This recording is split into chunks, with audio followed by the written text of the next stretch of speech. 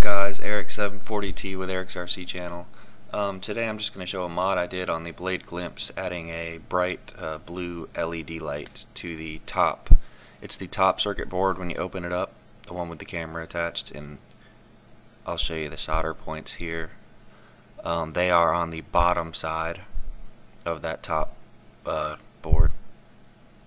And there is two, there's four connectors lined up right here the two on the end where I soldered onto is where you'll solder onto the uh, the board. And the reason I chose these spots and for this LED this specific LED light is because um, that that um, those two pads output um, just about exactly 3.2 volts which is what this LED here needs. So here's the part number for the LED light. It's only like a dollar and some change gone from Radio Shack. And on the back here are the specs and 3.2 volts. 20 milliamp typical.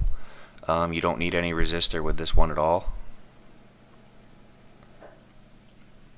So I'm just going to show this for a second here. And back to the board, um, you have to solder the LED on the bottom side and then you what you do is you just bend you bend it correctly to fit right on top of that um, the SD card holder and just make sure you don't contact any metal with the other with the um, the two metal lines that are going to the LED and it will fit snugly underneath the canopy. And it really lights it up. I mean it uh it's super bright. You can see the, and the it illuminates the entire canopy so you could fly at night and you could see you could tell your orientation based on the canopy. Of course you couldn't fly very far away from yourself but um and I'm about to show you uh, some image or a video of here it is right here uh, with the LED on and it's in the dark. It's uh, super bright it's almost like a flashlight.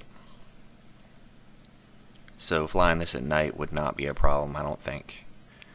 Um, I could add a couple more or I could add LEDs to the uh, the booms too or the not booms but the uh, arms I guess on a quad uh, but I don't think I need to just because um, it lights up the whole canopy so I'd be able to tell my orientation based on that um, at night.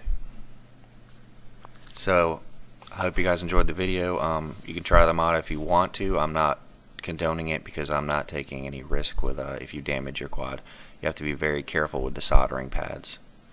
Alright guys, thank you so much and uh, thanks for watching the video. Take care.